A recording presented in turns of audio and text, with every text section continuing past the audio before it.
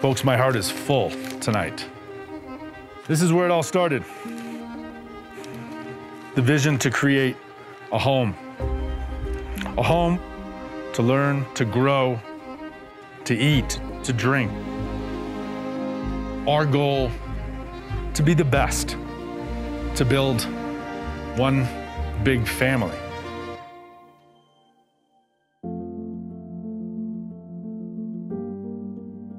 There was not a lot going on here. The, this town was lacking seriously, I think, in uh, not only number of restaurants, but the quality of restaurants. There was nothing sort of in that price point and sort of accessibility and sort of casualness in a way with table service. And that was the that was the goal. Once the Rendezvous Bistro opened, people realized there could be an amazing restaurant that is really actually a pretty affordable place to go, which was an absolute home run from the very first day that we opened. There was just an electric current in there every single night. Um, there was never not a line out the door. You know, you just had four people deep in the bar. We're doing 350, 400 dinners on Monday and, you know, not closing until 11 o'clock at night. I think it was just a sense of community, brought you know a lot of locals together, and it was a, and a place to be seen and, and, be social. You know, you went there to go see people. You know, from there, spurred on a lot of babies and relationships or divorces. I don't even know, but yeah, a lot of that. So yeah. Everybody just wanted to know Gavin, so he was just a really um, vibrant person to be around. He was young, extremely energetic, and he still is. I mean, he's so energetic, sometimes it makes me tired just watching the guy work. I think the best way to describe Gavin and Roger's relationship is complementary. Gavin has these really big ideas, and Roger kind of grounds him. Gavin and Roger, it's like a vinaigrette. They're oil and vinegar, but when you shake them up, they turn out to be awesome. The culture at the Rendezvous Bistro was number one.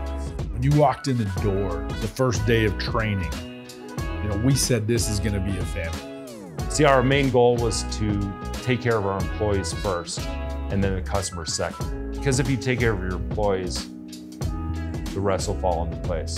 Gavin decided a long time ago that he needed everybody else to succeed in order for uh, him and Raj to succeed. And Raj is like the epitome of that. Um, Raj is always putting other people forward.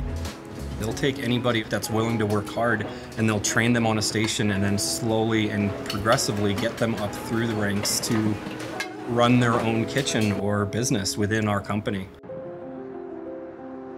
When we first started this business together, I had no idea that Gavin wanted to rule the whole town of Jackson. We had the bistro for five years by itself, essentially before we opened anything else. We started with a Q restaurant, which was a barbecue joint that was our second venture. From there, uh, Gavin kind of went crazy.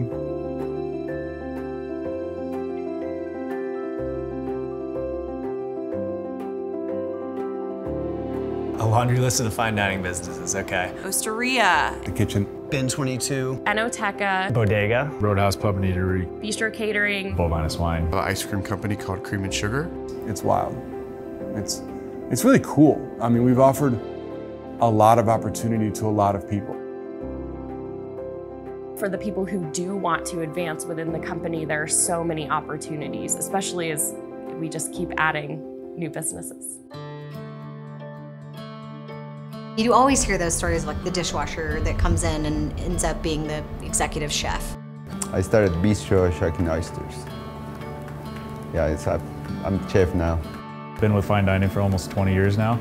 I started at the Rendezvous Bistro as an oyster shucker and then kind of slowly worked my way up through the ranks and became sous chef and then executive chef there and then started Bovine and Swine in 2016.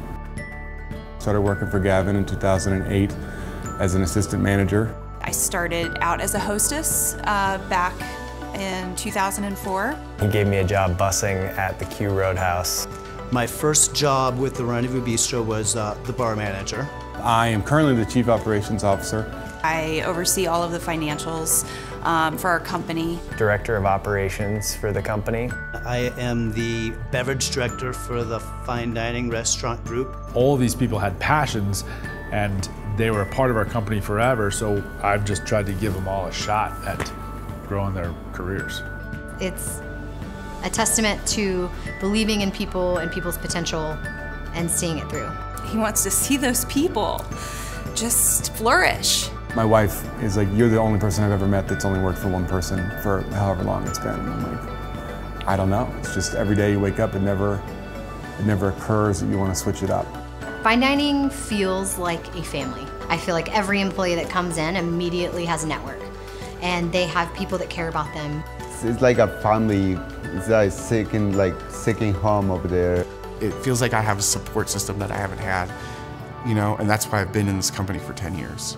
Everybody is accountable. There's no, I'm better than you or I'm more special. I was actually just working the other night in one of our restaurants and Gavin was right next to me on the line because they needed someone to help. Project manager this week, uh, dishwasher next week. So, one last show. So the curtain closes at 380 South Broadway. I'm not sad at all. I'm just proud, honored to be a part of a team. The feeling I had on the last night of closing the Rendezvous Bistro was an insane mix of emotions. Bittersweet. It was, you know, that, that was a very large part of my, my life in that building. You know, it molded and shaped me to who I am today. It would have been a much tougher pill to swallow if we were just shutting the bistro down and that was that. But there's there's something new to look forward to. It's a new beginning. We've opened a new restaurant called The Bistro, the artist formerly known as the Rendezvous Bistro. It's a space inside the Cloudveil Hotel right on the town square. We're going for it. Um, classic French, Parisian, sort of even more European. There will be little hints that you can see from Rendezvous Bistro, whether it's the raw bar or a couple of the signature dishes. But overall, it's going to be its own restaurant. It's crazy how the years have gone by. I, I wouldn't think that here 20 years later that I'd be working at the new bistro. I can't even put it into words how proud I am. I mean, it's not only of what we've done, how we've nurtured people along the way. We have really built, hopefully, really cool things for this community to enjoy and visitors to come and enjoy it. And trying to build up a, a team that's going to take this cool little hospitality company that's grown from one restaurant into you know 350 employees and into the next generation. Hope you come and eat with us or drink with us soon.